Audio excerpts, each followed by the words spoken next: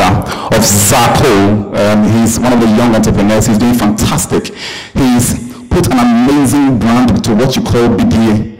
So I want you to just listen to his quick story and let's be inspired by it. Please put your hands together for him. Thank you. Good afternoon, everybody. My name is Amin Sulley, and um, I think I really appreciate the title he gave me talking about titles today because most of the time I get people calling me the CEO of Zaacoal, sometimes the founder of Zaacoal. I think founder is very appropriate because considering where we are now, I don't consider myself a CEO, I consider myself the chief laborer because I'm actively involved and I'm feeling what really it takes to run a business from experience. So if you would want to ask me what Zaacoal is, my simple answer is Zaacoal is sexy charcoal. we make charcoal sexy. Now, can we, okay, now, to explain the meaning of the word Zaacoal, it's a measure of two words. We put together uh, Zafi, that's a Hausa word for hot. So a lot of us eat TZ to Zafi. So the Zafi literally means hot. So we put Zafi and coal together. Then we go Zaacoal, literally meaning hot coal. Now, next slide. I'm sure a lot of us might have engaged these guys. This is my friend Esther. She sells coconut in La Paz. There are over a thousand of these guys in Accra alone. Millions of them in the western and the central region. Thousands across the country.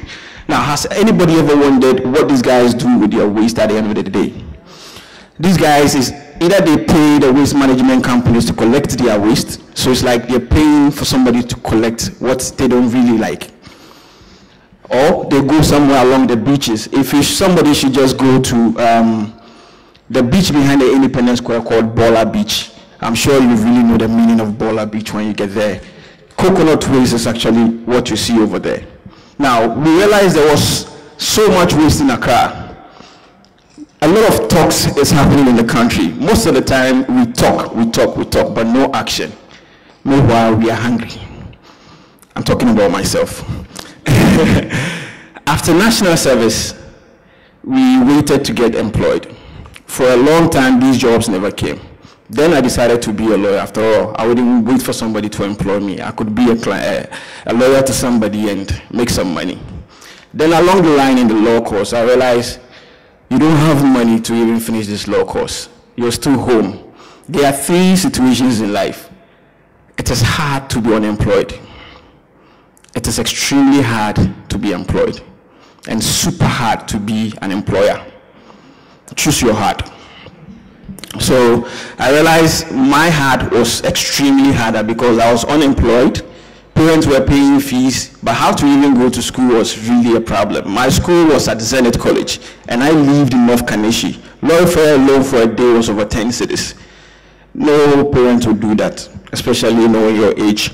So we realized these guys were creating a lot of waste in the city. Then one day I went to buy kenkey. Then I realized this woman was using this coconut waste in her fire. So instead of using firewood, she's using coconut. Firewood is used to make charcoal. Can we try making charcoal out of coconut? Curiosity. I read a lot about um, successful people, Steve Jobs. I've read about Dr. Kirubi and his beer story. I've read a lot about successful entrepreneurs in the country and outside. So curiosity once again. I took a trip to Wa, went all the way to Tumu, to see how these guys make charcoal. I needed to understand the science behind charcoal making. So I came back to Accra and designed my own processes on how we could produce charcoal. Can we go to the next slide? Now, the production of charcoal from my experience and what I saw in the north is what we are seeing up here. First, people have problems with accessibility to get charcoal, I don't think Patrice would want to have that big sack of uh, big sack of charcoal at the back of uh, the trunk of his car. No, that's not sexy. These guys were cutting down all the trees to make the charcoal. This is a picture I took personally, the last one at the bottom. I took personally at Bola Beach. You could see it's either plastic or coconut. Now you look up there, there's this problem of people have to find their fire to get it burned properly the smoke alone was killing more people than all diseases known to us. As a matter of fact, pollution kills close to 20,000 people, and cooking smoke alone kills like 13,000 of these people every year in Ghana. Can we go to the next slide? Oh, this is a, statistics from the World Health Organization. So pollution in general kills more people than HIV, malaria, tuberculosis, and cancer all combined. Next slide. So this is how we started. So after my trip from Wa, I asked Esther and her crew to give me a handful of coconut waste, as you can see on my right. Then, to really practice what I had learned in Tumu, I couldn't set up that old process. So I understood the science, and it all started with this tin tomato can. So to get charcoal, you need to burn something without oxygen. So I created these holes at the bottom of this tin, uh, tin tomato can. We put our coconut in there, and as it burns, we cover it with clay. Now we get our charcoal. That was just to test if we could really make charcoal out of coconut. We had never known this from anywhere. Then the next day, it worked for us. The next day, we moved from this tin tomato can to my auntie's bucket, which they didn't take really lightly. It also worked perfectly. The next day, we had moved from tin tomato can to bucket. Now we're doing barrels, all at home. Now, we wanted our charcoal to come in a way that would be attractive to people. So this is what we also did. We went around Melcom precisely, then we bought ice cube molds. So after we've processed our charcoal, we push them with our hands into these ice cube molds. Now they take the shape of the ice cube, so it comes out like cubes. We're taking, I was carrying these charcoal in black poly bags, taking them to the nightclubs for people to use for barbecue, and some other people to use for the shisha. Next slide. so this is how my house looked like. You can all see it. These guys virtually, yes, in a matter of two weeks, I had this much in my house. Go to the next slide. This is how it looks from the inside, and this is how it looks from the outside. So I was collecting this much in two weeks. In a matter of two weeks, we were doing 15 huge trucks. These were the double, double tipper trucks. 15 of these trucks. Can we go to the next slide? As you can see, we're doing 15 of these every two weeks with no money. So virtually what I had to do was just wait till I get my last law school fees. Then I invested all the school fees in this. And this is how we started. Now this is our solution. When I say we make charcoal sexy, we don't just make charcoal sexy by the way it looks and feels. We want customers to experience something they've not, they've not experienced before. Old habits are very difficult to change we had to make sure what we were producing was different from what everybody was used to. So we had to make it very clean, extremely clean. I can even rub it in my white shirt, as you can all see, very clean. So it will be different from what everybody else was used to. And this is how we packaged our charcoal. We have the charcoal quick light, which comes with a lighter fluid already infused in it. So you don't need to go around collecting rubber bags to light your charcoal.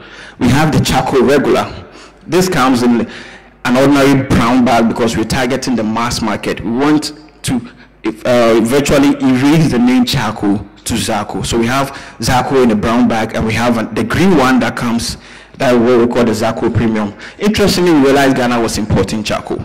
All the shopping malls in the country were importing charcoal. And the only thing we could do to counter this market is to step up our, our packaging. So we produced this green one to really target that market. I had the opportunity to visit Dubai, and I also observed, apart from the skyscrapers and the buildings on the sea, these guys really liked to take their shisha. Shisha is serious business. I bought pieces of shisha coal, brought, brought all these things back to Ghana, and we packaged as shisha charcoal to be much sexier than what those guys are used to up there. So virtually, this is the story of Zaacoal. So when Yasmin contacted me about entrepreneurship solution, I was, I was like, what have I really created? Because going through the list, I've been following Dr. Chris. I know uh, Mr. Mr. Hackman. I read about uh, Nana, and I read about my senior counsel, senior lawyer. I was in no way qualified to be on this platform. In fact, she, she went through a lot of convincing to get me up here.